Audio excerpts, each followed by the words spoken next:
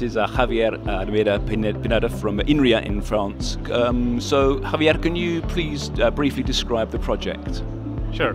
So, Spring uh, tries to bring robots uh, to um, social robots to gerontological healthcare, and uh, this is to uh, basically act in the all non-medical phases, meaning when people are waiting, typically in a waiting room, and then the robot is playing a social role and discussing with many people at the same time.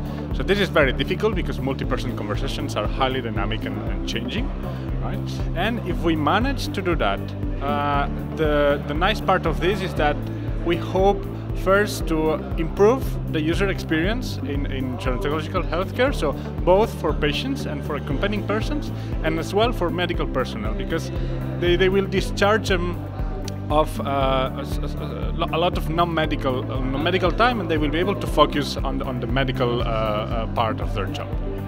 Okay. Thank you very much, Javier.